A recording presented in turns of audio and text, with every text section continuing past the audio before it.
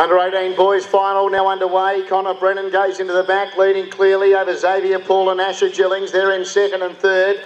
Joseph McKinnon was next. Behind him, Cooper Williams. Uh, then Kyle Gillies.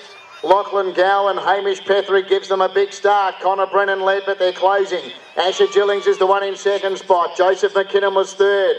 In fourth spot now was Cooper Williams. Goes past Xavier Poole. Next was Kyle Gillies. Hamish Petherick and Lachlan Gow starting their runs. Running to the lead, Joseph McKinnon. Joseph McKinnon led from Connor Brennan. Hamish Petherick sweeping around the outside. Joseph McKinnon led. Hamish Petherick coming after him. Then Cooper Williams, Lachlan Gow. It's Joseph McKinnon. Hamish Petherick the outside. It's a big tussle. Joseph McKinnon still in front.